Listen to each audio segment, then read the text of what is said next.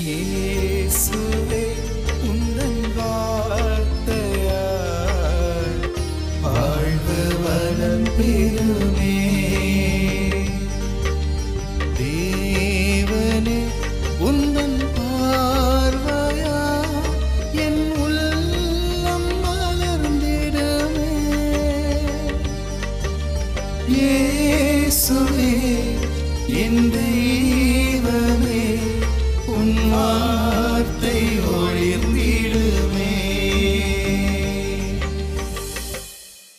முதல் வாசகம்.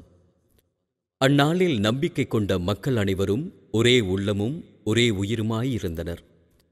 அவர்களுள் எவரும் தமது உடைமைகளை தம்முடையதாக கருதவில்லை.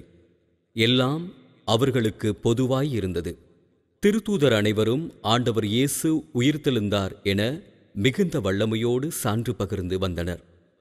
அவர்கள் அனைவரும் மக்களின் நல்லெண்ணத்தை மிகுதியாய் பெற்றிருந்தனர். தேவையில் உழல்வோர் எவரும் அவருள் காணப்படவில்லை.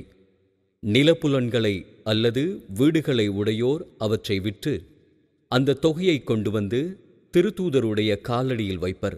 அது அவரவர் தேவைக்கு தக்கவாறு பகிர்ந்து கொடுக்கப்படும். இது ஆண்டவர் வழங்கும் அருள்வாக்கு. இரண்டாம் வாசகம். ஒன்று யோவான் ஐந்தாம் அதிகாரம் வசனங்கள் ஒன்று தொடங்கி ஆறு முடிய. அன்பார்ந்தவர்களே இயேசுதான் மெசியா என்று நம்புவோர் அனைவரும் கடவுளிடமிருந்து பிறந்தவர்கள்.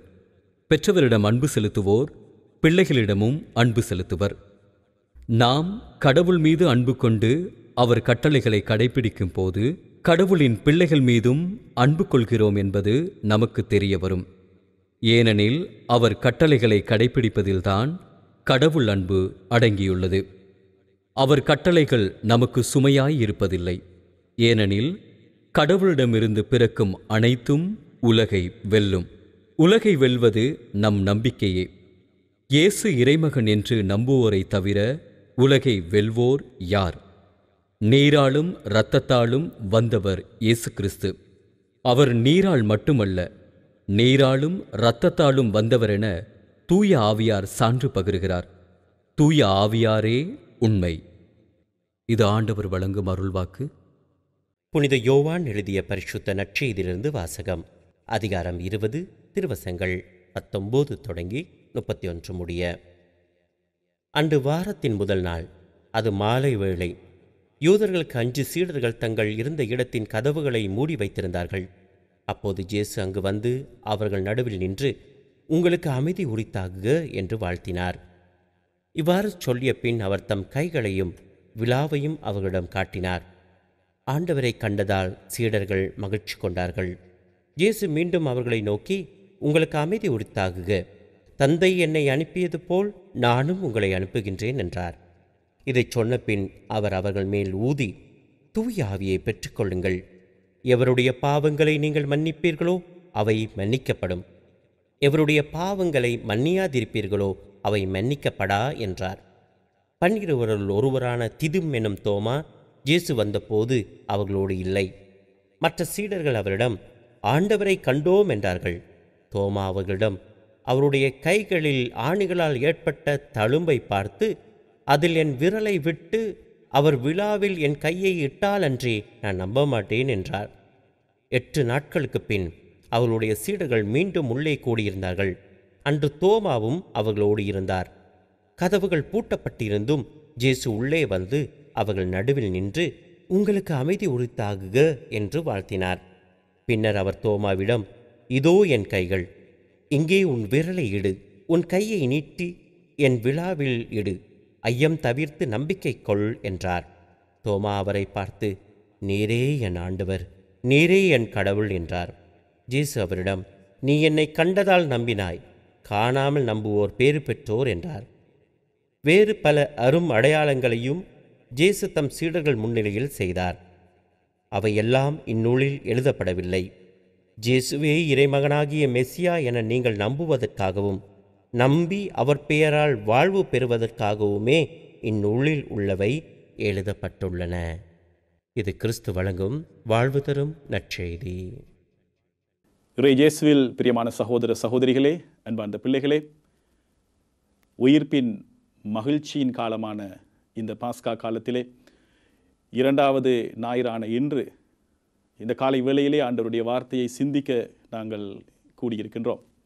பிரியமானவர்களே இந்த நாள் ஒரு விசேடமான ஒரு நாள். இறைவனுடைய இரக்கத்தை கொண்டாடுகின்ற இறை இரக்க பெருவிழா ஞாயிறு என்று அழைக்கப்படுகின்ற நாள் இன்றைய நாள். இன்றைய நற்செய்தியிலே நாங்கள் காண்கின்றோம் எவ்விதமாக உயிர்த்த ஆண்டவர் அஞ்சி நடுங்கி பயந்து இருந்த சீடர்களுக்கு அந்த மாலை வேளையிலே கதவுகள் மூடியிருந்த வேளையிலும் ஆண்டவர் அவர்களுக்கு தோன்றி அவர் கூறக்கூடிய வார்த்தைகள் உங்களுக்கு அமைதி உரித்தாகட்டும். சீடர்களுக்கு அவர் கொடுக்கின்ற பெரிய ஒரு ஆசீர்வாதம் அவர்கள் மீது ஊதி தூய ஆவியை பெற்றுக்கொள்ளுங்கள். தைரியமாக இருங்கள். மகிழ்ச்சியோடு இருங்கள். ஏனென்று சொன்னால் உங்களோடு நான் இருக்கின்றேன் என்று சொல்லக்கூடிய அந்த வார்த்தைகள். அன்பார்ந்தவர்களே எங்களுடைய வாழ்க்கையிலே பல வேளைகளில் பல்வேறு விதமான கஷ்டங்கள் ஊடாக பல்வேறு விதமான கடினமான பாதைகள் ஊடாக நாங்கள் பயணித்தாலும் அதே உயிர்த்த ஆண்டவர் இதே வார்த்தைகளை சொல்லி எங்களை திடப்படுத்துகின்றார். இறைவனுடைய இரக்கத்தை நாங்கள் கொண்டாடுகின்ற இந்த நாளிலே எங்கள் வாழ்விலும் ஆண்டவருடைய இரக்கம் என்றும் எங்களோடு கூட கடந்து வருகின்றது. ஆண்டவருடைய இரக்கம் என்றும் எங்களோடு கூட பயணித்து கொண்டிருக்கிறது. அவருடைய இரக்கம் மட்டுமே எங்களை வாழ்விக்கின்றது. சில வழிகளில் நாங்கள் தவறி போயிருந்தால் ஆண்டவருடைய இரக்கம் மட்டுமே எங்களை தாங்கிக் கொள்கிறது. அவை நண்பார்ந்த சகோதர சகோதரிகளே ஆண்டவர் தருகின்ற அந்த உயிர்ப்பின் செய்தியை அந்த உயிர்ப்பின் செய்தியின் உன்னதமாக இருக்கக்கூடிய அவருடைய இரக்கத்தை நாங்கள் பெற்றுக்கொள்ள எங்கள் உள்ளங்களை நாங்கள் திறந்து வைத்துக் கொள்வோம். நம்பிக்கை இழந்த சூழ்நிலைகள் பல இருந்தாலும் பல வேளைகளிலே எங்களுடைய வாழ்க்கையிலே எவ்விதமாக இந்த பிரச்சனைக்கு நாங்கள் முகம் கொடுப்போம் எவ்விதமாக இதை நாங்கள் சமாளிப்போம் என்று பல சங்கடங்கள் ஊடாக நாங்கள் பயணித்துக் கொண்டிருந்தாலும் இன்றைய நாளிலே ஆண்டவர் எங்களுக்கு சொல்லுகின்றார் தைரியமாக இருங்கள். உங்களோடு கூட நான் இருக்கின்றேன். உங்களோடு கூட நான் பயணிக்கின்றேன். உங்களுக்கு வேண்டிய அமைதியை உங்களுக்கு வேண்டிய சமாதானத்தை உங்களுக்கு வேண்டிய அந்த ஆசீர்வாதத்தை என்னுடைய இரக்கம் உங்கள் ஊடாக வந்து கடந்து தங்கி இருக்கும் என்று சொல்லி ஆண்டவர் சொல்லுகின்றார். ஆவி பிரியமான அன்பு சகோதரர்களே நம்பிக்கை இழந்து போகாதவர்களாக தைரியத்தோடு நாங்கள் முன்னடப்போம். இறைவனுடைய இரக்கத்தை மட்டும் நம்பியவர்களாக எங்கள் வாழ்வை நாங்கள் வாழுவோம். இறைவன் உங்கள் அனைவரையும் நிறைவாக ஆசிர்வதிக்கின்றார்.